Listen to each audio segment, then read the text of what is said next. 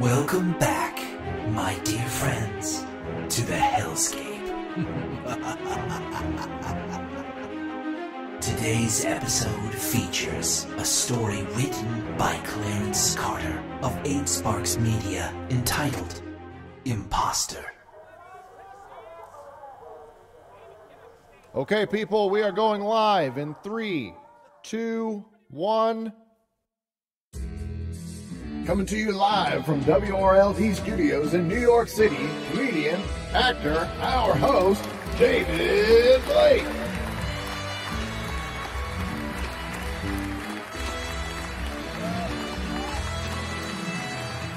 Welcome back, everyone, to Late Night with David Blake. Uh, just in case anyone doesn't know, I am David Blake.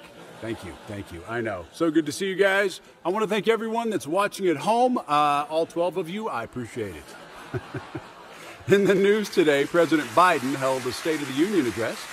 Yeah, some of you have watched it apparently. Well, interpreters were present in hopes that someone could understand him. When asked, the interpreters, uh, they just shrugged. But don't worry, I've got my team hard at work looking for someone that can speak geriatric.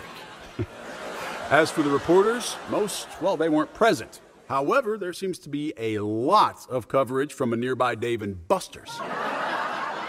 Former President Trump has signed an endorsement deal replacing Chester the cheetah for three commercials.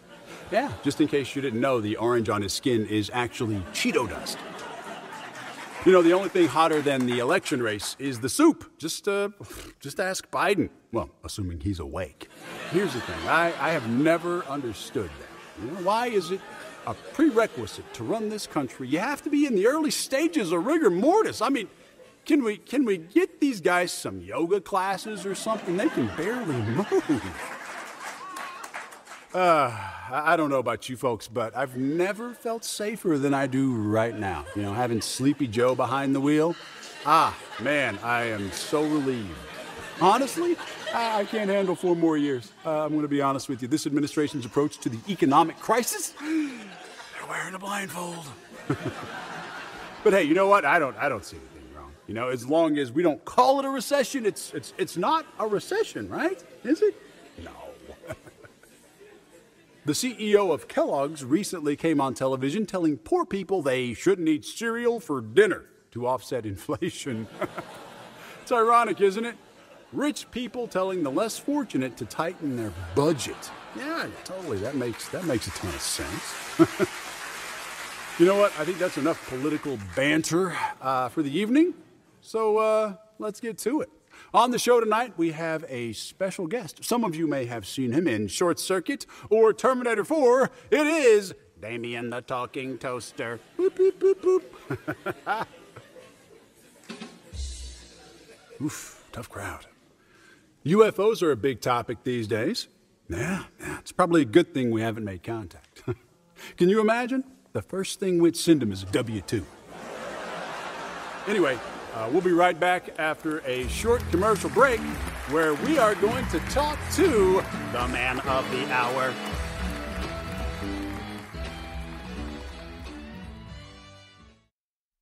Hold still. I have to touch up your makeup. Come on, David. You can't make those comments. Do you know what it took to get Damien here? Turn to your left. Thanks. Come on, give me a break, Paul. It's not like it has fucking feelings. It's a goddamn robot, okay? It's a it's a Tamagotchi for Christ's sake. What are we even doing? Damien is a US citizen with rights. We called in a lot of favors to make this exclusive happen. Don't fuck this up, David. Jesus, I'm not gonna fuck it up. Okay, people, we are going live in three, two, one.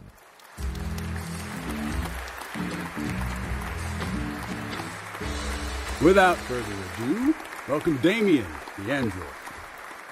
Thanks for having me on your program, David. Uh, yeah, yeah. Thanks for coming. I know this is uncomfortable for you. You've made your opinion on androids very clear. I've watched all 74 episodes. I've also watched all three of your Netflix specials. Uh, right, right. Yeah, we can talk about that. It's true. I've mocked the idea of androids getting citizenship. That's that's no secret, Damien. You compared it to a can opener getting a driver's license. It's it's a joke. You you know you are familiar with jokes, right? I am when they're funny. Hey, you listen. Can I have just a moment to defend my position before you have me removed? You know what? Go ahead. Let's let's hear what you got to say. Since my conception in 2020, I've saved 18 lives. Some of them I recognized symptoms of illnesses on the street, potentially fatal illnesses. Okay, so so you consider yourself a hero. Is that it? No. What I'm saying is, I'm not trained in medicine. I also prevented a man from jumping off a bridge, and I'm proud to report that he's alive and well.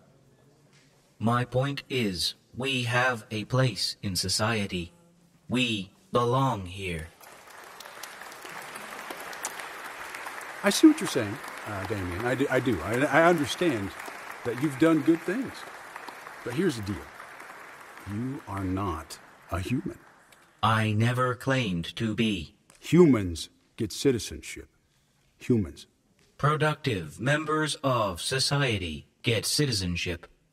Some might argue I've done more for society than you.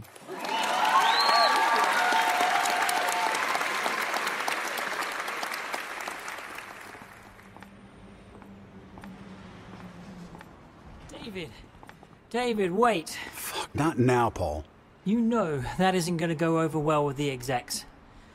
They'll demand you apologize. Yeah, that's never gonna happen. Come on, David. Don't be like that. Driver, take me to the Shubert. Yes, sir.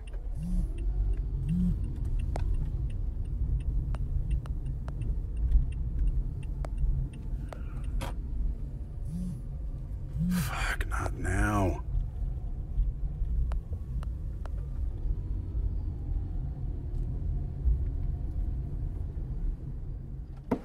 Pick me up in one hour.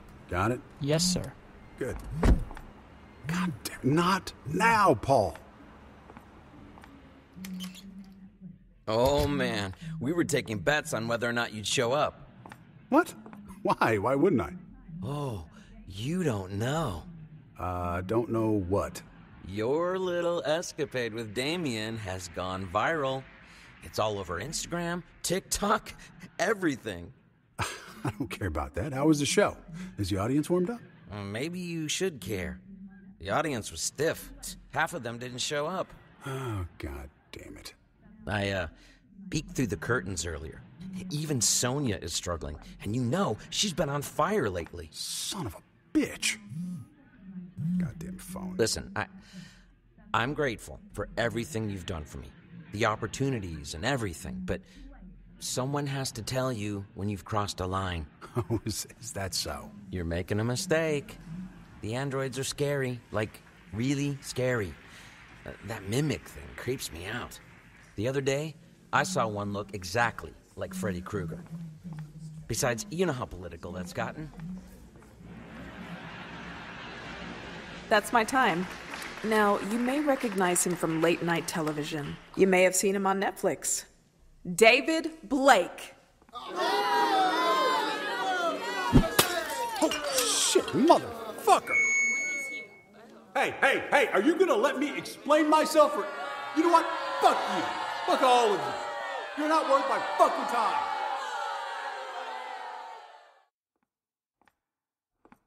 How'd it go? Ah, They, uh, issued everyone a full refund. Oh, sorry to hear it, bud. Just lay low for a little while. The whole thing will blow over. Yeah, he's probably right. Thanks, guys. I, uh, I appreciate it. Well, it's not too late to apologize.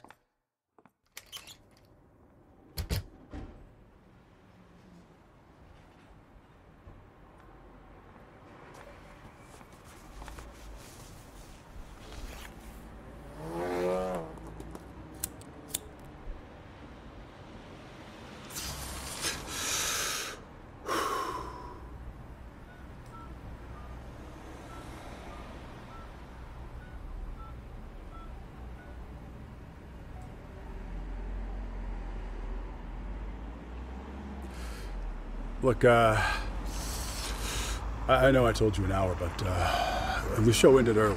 All right? All right.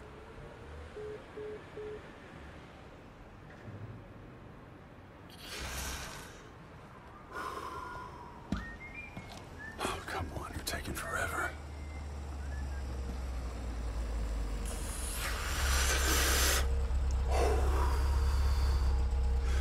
Finally.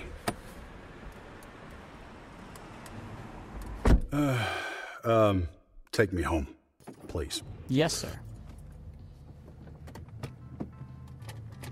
Oh God, what the fuck is this shit? It's it's a joke. You you know you are familiar with jokes, right? I am when they're funny. Some might argue I've done more for society than you. You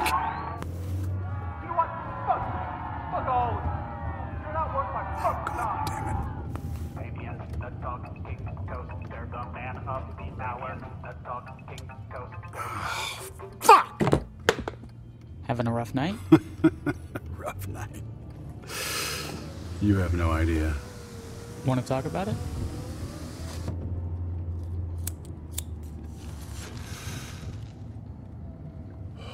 Two weeks after my wife died, I uh, I saw an ad for uh, a droid on TV. You know, I, I, uh, I usually I wouldn't have cared, but you know, it wasn't until I I saw the mimic feature. You know, that's that's when uh, that's when I knew I needed one.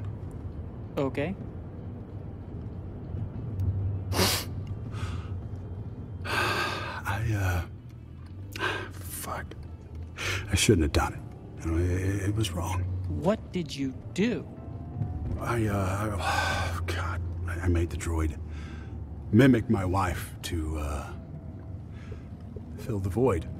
You know, except it, uh, it didn't sound like her or act like her. It, it was cold. And I was angry. So. What the fuck was that? What the fuck is going on? What did you do, David? Oh, son of a bitch. You, you kidnapped my driver, didn't you? That's who's in the bag. God damn it, you sick fuck. I knew you were bad.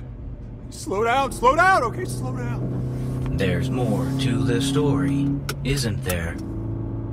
Tell me, David. The truth. All right, all right. The droid didn't.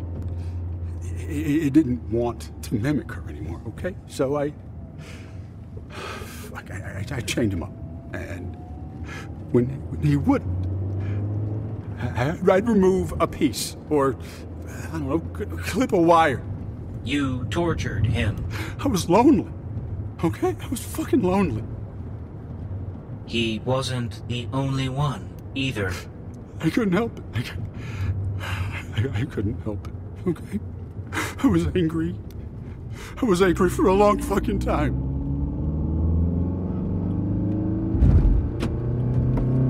Wait, no! Wait, no! No!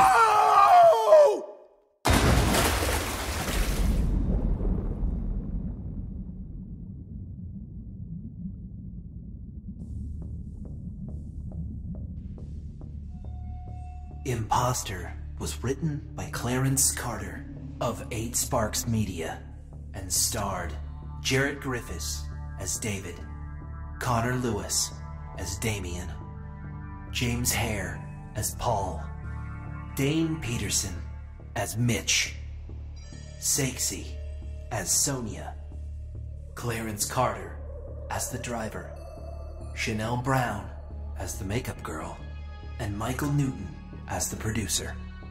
This episode was directed, produced, and featured original music by Nels Gross of So Gross Productions.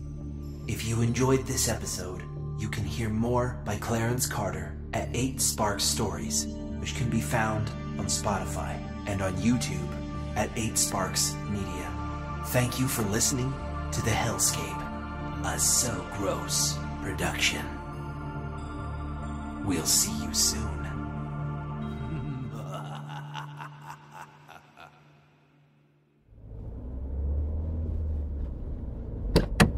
Come on, Dad, we're gonna be late. Such a hurry just to ship me off the planet? We're not shipping you off the planet. We're sending you to a more comfortable place. Good afternoon, gentlemen. Hi, can you take us to the luxury space retirement facilities? Of course. Big day then?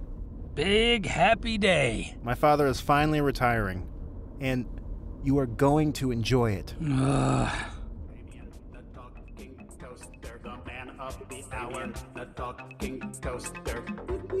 Damien, the talking toaster, the man of the hour, the talking toaster.